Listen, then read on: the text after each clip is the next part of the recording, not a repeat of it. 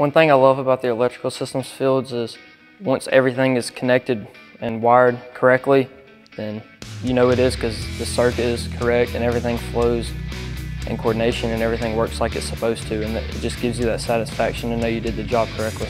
I'd always been interested in doing a trade. Um, I didn't know what trade specifically I wanted to do.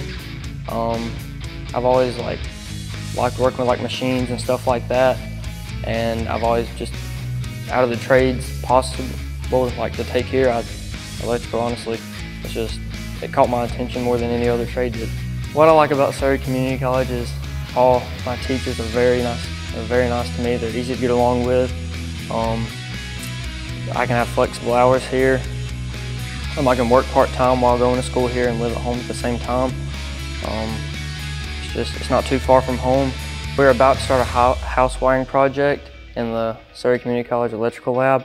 Um, I'm very excited to get started into that so you can learn firsthand how to wire a house properly and how everything connects and how everything runs in a complete circuit.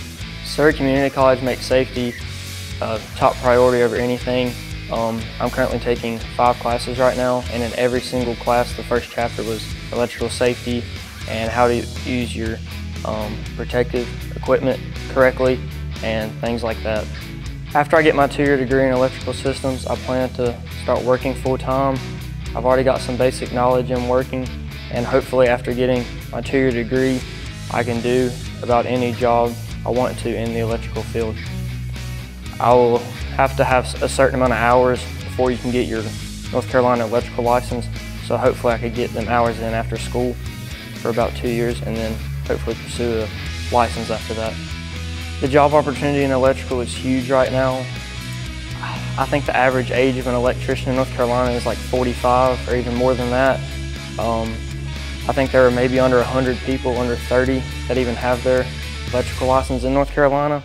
So the field is wide open right now. There's a lot of money to be made and there are a lot of jobs out there. And if you're wanting a trade to do, I highly recommend an electrical trade.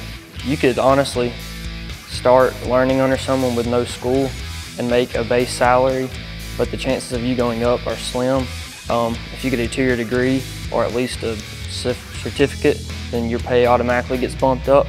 Um, once you get your degree, then you have to work a few years and then you can get a license. Once you get a license, you can make even more money.